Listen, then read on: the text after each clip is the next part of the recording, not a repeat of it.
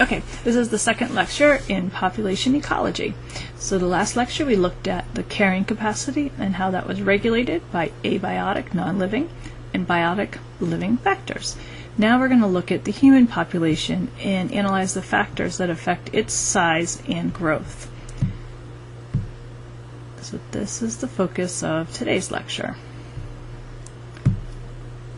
Okay, so if we look at human population growth over time, here we have again time and here we have population. We've looked at these graphs a couple of times. So here's human population and for many, many, many years, thousands of years, the human population really didn't change very much. Right? So we had reached carrying capacity and it had stabilized. So there was really zero growth.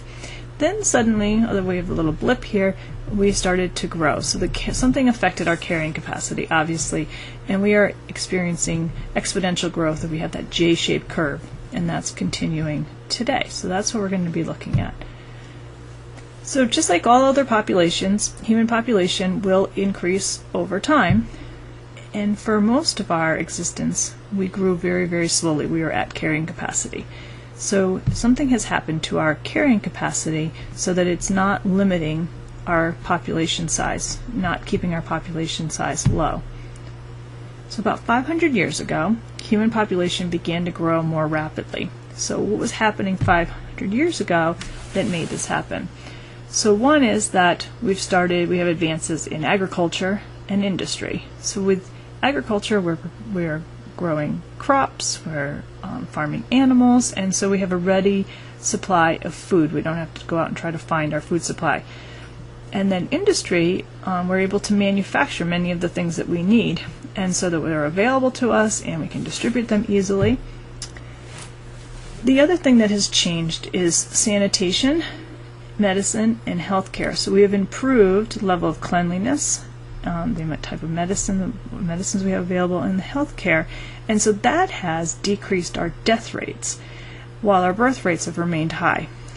So these are things that are affecting the human population, and so when we're looking at this J-shaped curve, what we're seeing is this spike with the Industrial Revolution.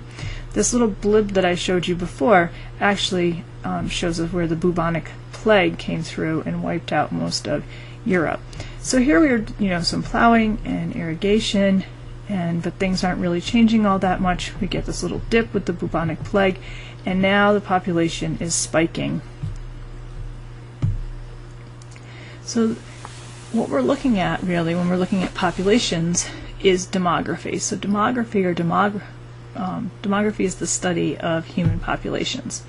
So it's looking at the human population today and trying to use that to predict what the population is going to look like into the future. So the things that a demographer looks at are things like birth rates, death rates, obviously that's going to affect the population, more births, higher population, more deaths, lower population. And what they do is they create these age, age structure age structure diagrams, which I'm going to show you. And that helps them kind of look at where a co- country is today and figure out where it might be in the future.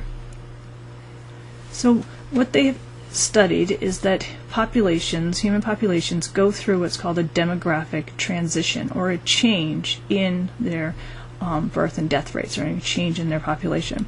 So in stage one, there's high births, but there's also high death rate. So the population is kind of stable. The stage two is this transition, this changing in this population. So here we have a dramatic decrease in the death rate, but we're maintaining the birth rate. So this is where a lot of human populations are right now. And then once they've completed this transition, they get back to kind of a more stable um, population. Here in the United States, we've reached that stability. We're really not growing anymore. If you look at the world population, however, the world population is still in this stage one or stage two. So stage one, high death rates, also high birth rates. So it's stable. So we're getting a straight line. We get into stage two, the death rate drops, but the birth rate remains high. And so that population would increase rapidly. So that would be undergoing exponential growth. And then finally, the birth rate will decrease and we'll get back to a stable population, so the growth will slow. So this is an age structure diagram of the United States. And what a age structure diagram does is it shows you the ages over on the y-axis, and we have different ranges of ages. And then on the x, we have the percentage of the population. And this is split in half. So on the right, we have the females, and on the left, we have the males. So we can look at this population and we can see that there's kind of a steady growth rate, right? So it may be growing a little bit, maybe getting having more individuals born, um, but pretty much this is going to be a stable population. This is kind of like a box here. Really, there's no differences. There's not like many, many, many more individuals being born than are in like the reproductive years. If we compare that to another country, Rwandan, here we have many more children. So if you notice the base of the pyramid is really, base of the diagram is really big, kind of forming a pyramid here. Um, so the number of children being born is very, very high compared to individuals up into their reproductive ages. So there are many more children than teenagers, many more teenagers than there are adults. And so we see this kind of structure. This tells us that this population is increasing. So you can predict that this population will double in about 30 years based on this age structure diagram.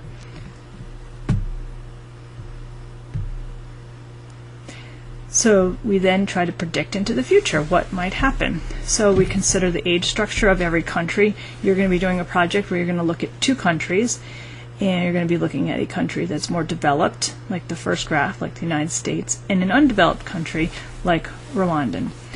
Um, and so these we can look at the age structure, but we also look at different life-threatening diseases. And so what we see in populations is over time they're going to move through their demographic transition. And so you'll be looking at some that are in stage two, but stage two will eventually move into stage one. We've are into stage three, and in, here in the United States we've moved over into stage three, meaning our growth rate has leveled off, or even some cases um, can be decrease, where there's actually less individuals in each generation. So what does this mean for us that our population is growing like this? Um, and it depends on who you talk to. So ecologists say that there can be a very serious damage to our environment and our global economy if we don't do something to slow down the growth. Econ- economists look at it and say, well, the science and technology can continually increase in um, our understanding, and we can actually control any of the negative impacts our population growth may have. You're going to be analyzing some of these factors in your CAPT project on human populations. So those are the two objectives that we looked at in population ecology.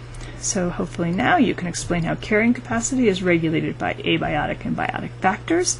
And this last lecture was um, explaining factors that affect the size and growth of human populations. Thank you.